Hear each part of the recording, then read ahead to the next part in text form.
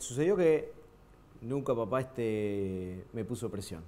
No es que me dijo que tenía que ser árbitro, es más, apareció como una curiosidad mía este, empezar a, acompañarlo y después estar relacionado con el fútbol siempre, si no estaba como en una escuelita de fútbol, curiosidad tal vez por hacer el curso de técnico. Bueno, empecé con el curso de, árbitro. Algo que le había mencionado a él era que yo tenía la intención de hacer el curso, pero que, la posibilidad era de querer hacer carrera, ¿no? Con, ese, con ese foco, con ese fin.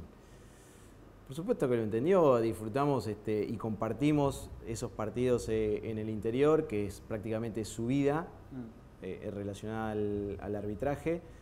Pero bueno, yo mm, estaba poniendo un plus, tenía, estaba teniendo mm, otro foco